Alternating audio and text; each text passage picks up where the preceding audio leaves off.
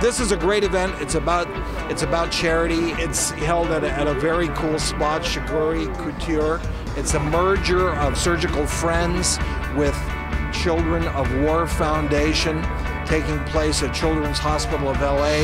The focus of Children of War and Surgical Friends really is to bring patients from around the world who need tertiary care that isn't available to them in their home countries.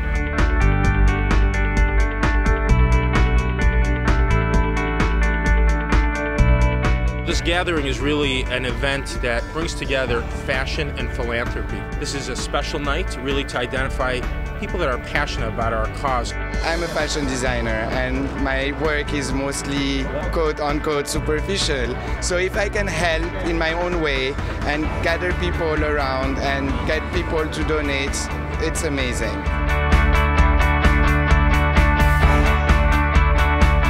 Want to see this thing grow so we can reach as many people as possible, as many kids as possible, get the doctors that want to volunteer, and now we have access to Children's Hospital, which is huge. One of the things that's inspiring is that you have people from all walks of life that are willing to come out and, and, and spend their time and give to a great cause whatever we can do, it's never enough. And I think these doctors are incredible the way they dedicate so much of their lives to helping these children that otherwise would just not have any chance.